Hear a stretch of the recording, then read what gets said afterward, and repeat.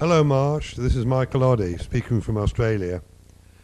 Alice and I don't actually appear on any of the photographs that Jenny's put up on the web, but uh, our memories, of course, go back where we first met you to the Hash in Shanghai.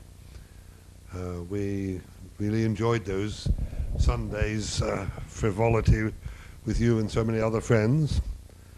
Uh, in fact, you and I actually organized a couple of runs. Marsh, do you remember the time that Ellen came to the house in a wheelchair because she'd broken her leg? And uh, after all the usual frivolity at the end of the evening, we, and with some other people, probably Ken and Betty, took her back to the, wheeled her back to the Shanghai Center where we all lived. And I think there was a certain lack of decorum in the way we trundled or raced her through the streets of Shanghai. Uh, I guess we uh, broke a few laws about speed records for wheelchairs that day. Anyway, we didn't seem to hurt Ellen, at least I hope we didn't. Um, well, of course, our more recent memories with you and Ellen are when you came over to Australia in September 96 after your sail across the Pacific to Fiji. Uh, you stayed with us for about a week and uh, we really thoroughly enjoyed that. It was great fun. Uh, among other things, we went up to the Dandenong Hills to look at the tulips.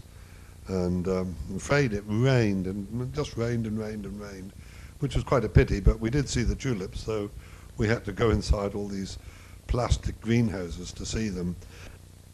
That was the same afternoon that Ellen was determined to get a Devonshire tea.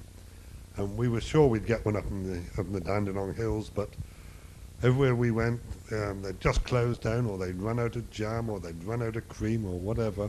Anyway, we just couldn't get one anywhere. So we had to make do with some profiteroles, which were cooked in a, a caravan parked by the side of the road.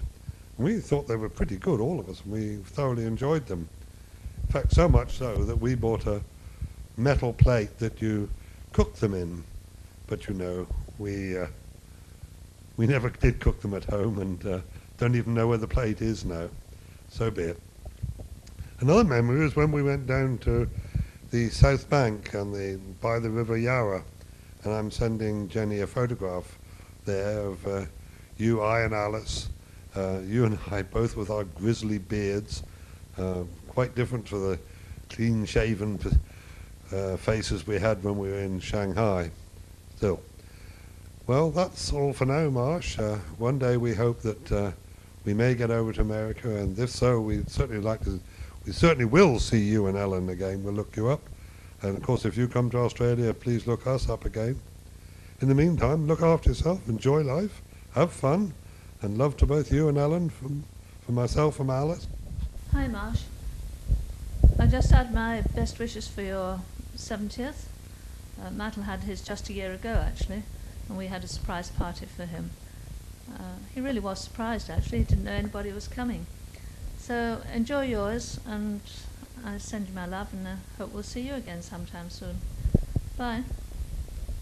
Happy, birthday, Marsh.